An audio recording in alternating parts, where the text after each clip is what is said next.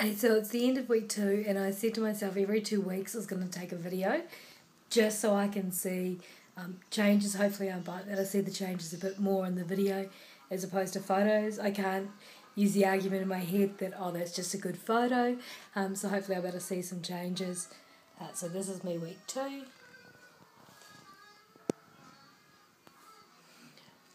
I've lost about one and a half kilos. Most of it this week. I think I'd lost about 300 grams the first week because I didn't really take it very serious.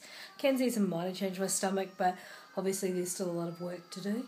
I had a pretty good week last week though. Um, exercise is not really an issue for me. I train, most people say, too much. Um, I like exercising, I like training. It's the eating that's an issue.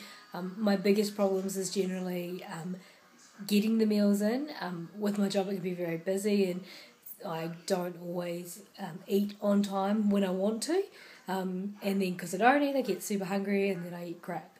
Um, but it's been a good week. I've walked past the bakery about three times and haven't gone in and bought anything. All my meals are prepped last week. All my meals are prepped this week. Um, looking really forward to the healthy eating. I'm starting to get back into the habit of eating healthy every meal, no cheats, which is really good. I'm finding myself being really hungry. Um, which is good. Um, hopefully, that's my metabolism building up. Um, and I'm slowly starting to um, not have the sugar cravings that I was having before. So, really looking forward to week three um, and seeing where the changes are.